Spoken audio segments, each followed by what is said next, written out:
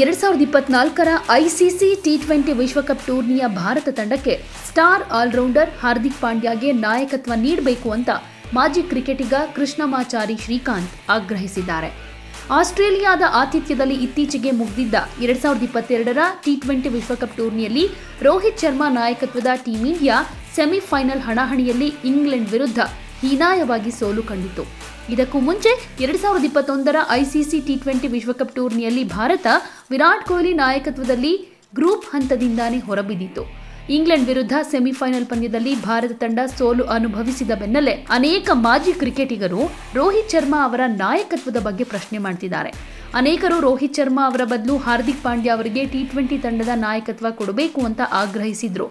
ಈಗ ಈ ಸಾಲಿಗೆ ಭಾರತದ ಮಾಜಿ ಕ್ರಿಕೆಟಿಗ ಕೆ. ಶ್ರೀಕಾಂತ್ ಕೂಡ ಸೇರ್ಪಡೆಗೊಂಡಿದ್ದಾರೆ. ನವೆಂಬರ್ ಹದಿನೆಂಟರಿಂದ ನ್ಯೂಜಿಲೆಂಡ್ ವಿರುದ್ಧ ನಡೆಯೋ ಟಿ ಟ್ವೆಂಟಿ ಸರಣಿಗೆ ರೋಹಿತ್ ಶರ್ಮಾ ಹಾಗೂ ವಿರಾಟ್ ಕೊಹ್ಲಿ ಸೇರಿದಂತೆ ಅನೇಕ ಹಿರಿಯ ಆಟಗಾರರಿಗೆ ವಿಶ್ರಾಂತಿ ಕೊಡಲಾಗಿದೆ. ಹೀಗಾಗಿ ಈ ಸರಣಿಯಲ್ಲಿ ಭಾರತ ತಂಡವನ್ನ ಹಾರ್ದಿಕ್ ಪಾಂಡ್ಯ ಮುನ್ನಡೆಸಲಿದ್ದಾರೆ. ಈ ಹಿನ್ನೆಲೆಯಲ್ಲಿ ಹಾರ್ದಿಕ್ ಪಾಂಡ್ಯ ಅವರೇ ಭಾರತದ ಟಿ ಟ್ವೆಂಟಿ ತಂಡವನ್ನ ಮುಂದಿನ ದಿನಗಳಲ್ಲಿಯೂ ಮುನ್ನಡೆಸಬೇಕು ಅನ್ನೋ ಸಲಹೆ ಕೊಟ್ಟಿದ್ದಾರೆ. ಒಂದು ವೇಳೆ ಬಿಸಿಸಿಐ ಆಯ್ಕೆ ಸಮಿತಿಗೆ ನಾನೇನಾದ್ರೂ ಮುಖ್ಯಸ್ಥನಾಗಿದ್ಬಿಟ್ಟಿದ್ರೆ ಭಾರತ ಟಿ ಟ್ವೆಂಟಿ ತಂಡಕ್ಕೆ ನೇರವಾಗಿ ಹಾರ್ದಿಕ್ ಪಾಂಡ್ಯ ಅವರನ್ನ ನಾಯಕನನ್ನಾಗಿ ಆಯ್ಕೆ ಮಾಡ್ತಾ ಇದೆ. ಎರಡ್ ಸಾವಿರದ ಇಪ್ಪತ್ತ್ ಮೂರರಲ್ಲಿ ಏಕದಿನ ವಿಶ್ವಕಪ್ ಟೂರ್ನಿ ನಡೆಯುತ್ತೆ.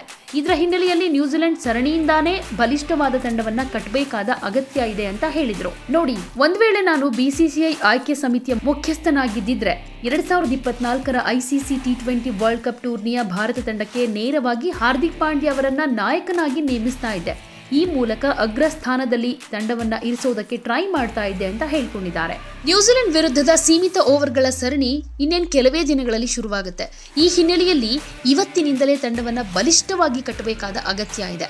ಮತ್ತೊಂದು ಕಡೆ ಎರಡ್ ಸಾವಿರದ ಇಪ್ಪತ್ತ್ ಮೂರರ ಏಕದಿನ ವಿಶ್ವಕಪ್ ಟೂರ್ನಿ ನಡೆಯುತ್ತೆ. ಇದಾದ ಮೇಲೆ ಎರಡ್ ಸಾವಿರದ ಇಪ್ಪತ್ನಾಲ್ಕರಲ್ಲಿ ಟಿ ಟ್ವೆಂಟಿ ವಿಶ್ವಕಪ್ ಟೂರ್ನಿ ಇದೆ. ಇದನ್ನ ಗಮನದಲ್ಲಿಟ್ಕೊಂಡು ಉತ್ತಮ ತಂಡ ಕಟ್ಟಬೇಕಾಗಿದೆ ಅಂತ ಹೇಳಿದ್ರು. ಮುಂದಿನ ವಿಶ್ವಕಪ್ ಟೂರ್ನಿಗಳನ್ನ ಗಮನದಲ್ಲಿಟ್ಕೊಂಡು ತಂಡದ ಯೋಜನೆ ಹಾಗೂ ತಂತ್ರಗಳನ್ನ ರೂಪಿಸಬೇಕು. ಆ ಮೂಲಕ ಮುಂಬರೋ ಸರಣಿಗಳಲ್ಲಿ ಅದನ್ನ ಎಕ್ಸ್ಪರಿಮೆಂಟ್ ಮಾಡಬೇಕು. ಈ ಹಾದಿಯಲ್ಲಿ ಉಂಟಾಗೋ ತಪ್ಪುಗಳನ್ನು ತಿದ್ದುಕೊಂಡು ಮುಂದೆ ಸಾಗಬೇಕು. ಆ ಮೂಲಕ ಎರಡು ಸಾವಿರದ ಇಪ್ಪತ್ತ್ಮೂರರ ವಿಶ್ವಕಪ್ಗೆ ಭಾರತ ತಂಡ ಸಿದ್ಧತೆ ನಡೆಸಬೇಕು ಅಂತ ಮಹತ್ವದ ಸಲಹೆಯನ್ನು ಕೊಟ್ಟಿದ್ದಾರೆ ಕೆ. ಶ್ರೀಕಾಂತ್.